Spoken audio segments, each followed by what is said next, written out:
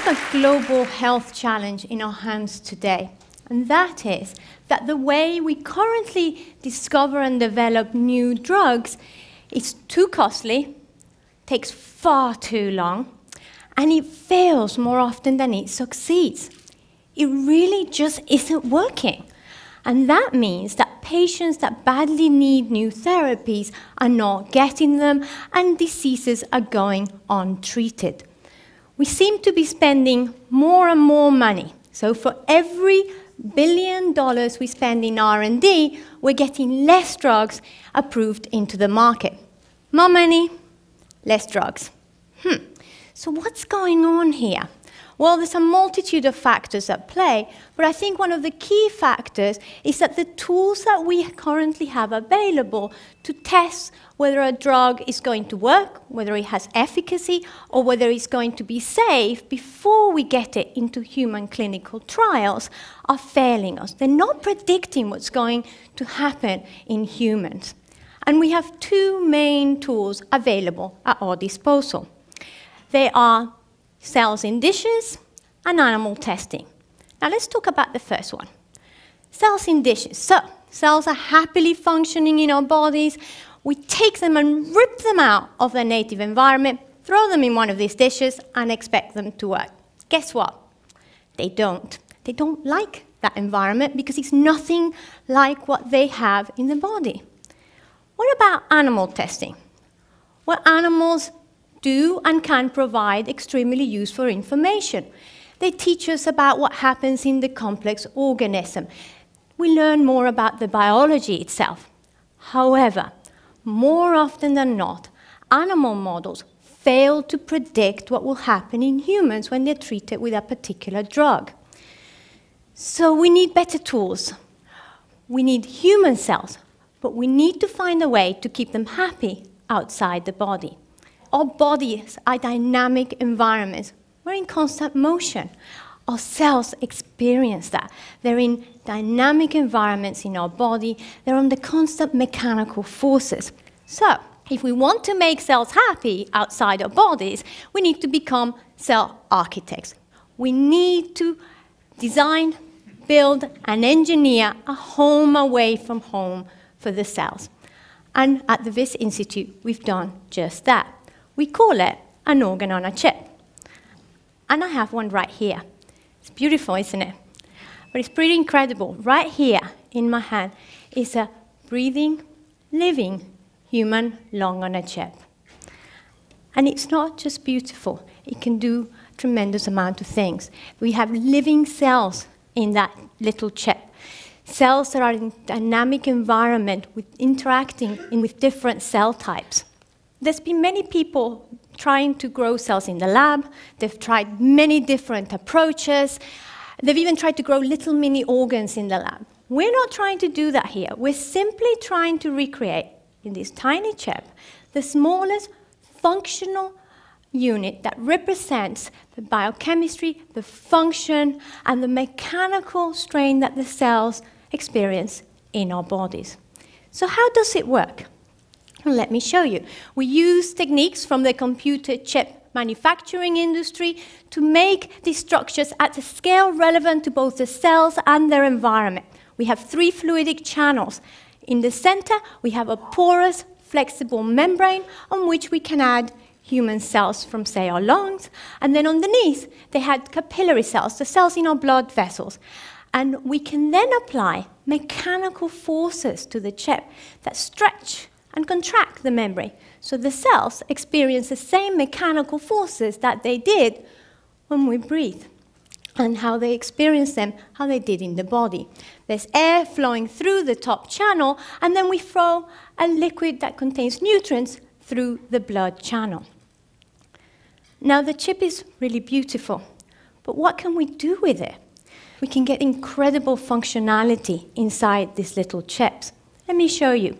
We could, for example, mimic infection, where we add bacterial cells into the lung. Then we can add human white blood cells. White blood cells are our body's defense against bacterial invaders. And when they sense this inflammation due to infection, they will enter from the blood into the lung and engulf the bacteria. Well, now you're going to see this happening live in an actual human lung on a chip. We've labeled the white blood cells so you can see them flowing through, and when they detect that infection, they begin to stick. They stick, and then they try to go into the lung side from the blood channel.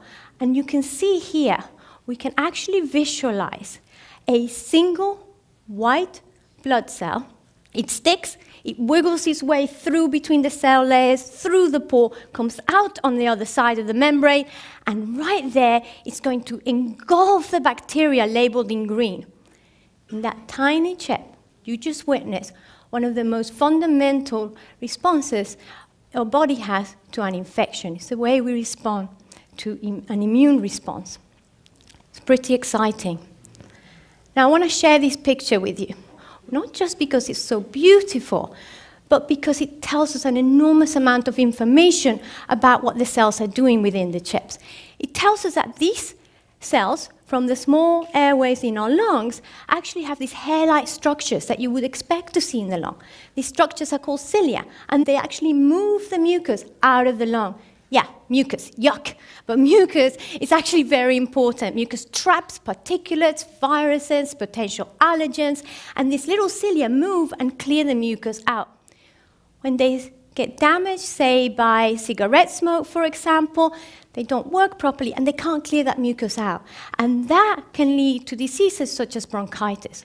Cilia and the clearance of mucus are also involved in awful diseases like cystic fibrosis. But now, with the functionality that we get in these chips, we can begin to look for potential new treatments. We didn't stop with a lung on a chip. We have a gut on a chip. You can see one right here.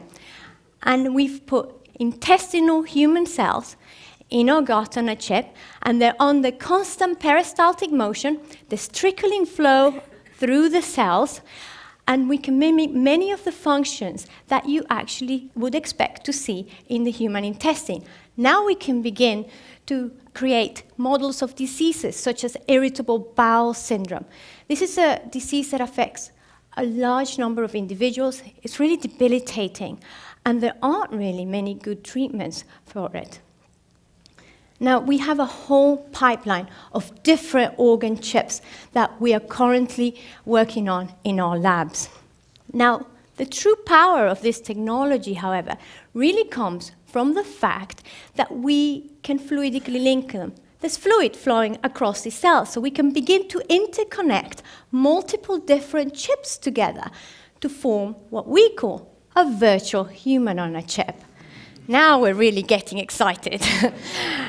So now we're not going to ever recreate a whole human in these chips, but what our goal is, is to be able to recreate sufficient functionality so that we can make better predictions of what's going to happen in humans. For example, now we can begin to explore what happens when we put a drug like an aerosol drug. Those of you like me who have asthma, when you take your inhaler, we can explore how that drug comes into your lungs, how it enters the body, how it might affect, say, your heart. Does it change the beating of your heart? Does it have a toxicity? Does it get cleared by the liver? Is it metabolized in the liver? Is it excreted in your kidneys? We can begin to study the dynamic response of the body to a drug. This could really revolutionize and be a game changer for not only the pharmaceutical industry, but a whole host of different industries, including the cosmetics industry. We can potentially use the skin on a chip that we're currently developing on the lab to test whether the ingredients in those products that you're using are actually safe to put on your skin without the need for animal testing. We could test the safety of chemicals that we are exposed to on a daily basis in our environment, such as chemicals in regular household cleaners. We could also use the organs on chips for applications in bioterrorism or radiation exposure. We could use them to learn more about diseases such as Ebola or other deadly diseases such as SARS. Organs and chips could also change with the way we do clinical trials in the future. Right now, the average participant in a clinical trial is that average. Tends to be middle-aged, tends to be female.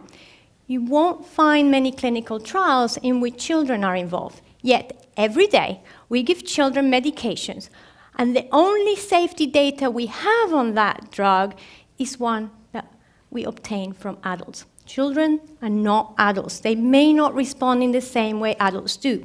There are other things like genetic differences in populations that may lead to at-risk populations that are at risk of having an adverse drug reaction. Now imagine if we could take cells from all those different populations, put them on chips and create populations on a chip. This could really change the way we do clinical trials.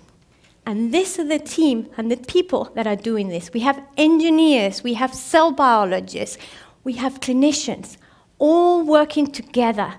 We're really seeing something quite incredible at the Wyss Institute.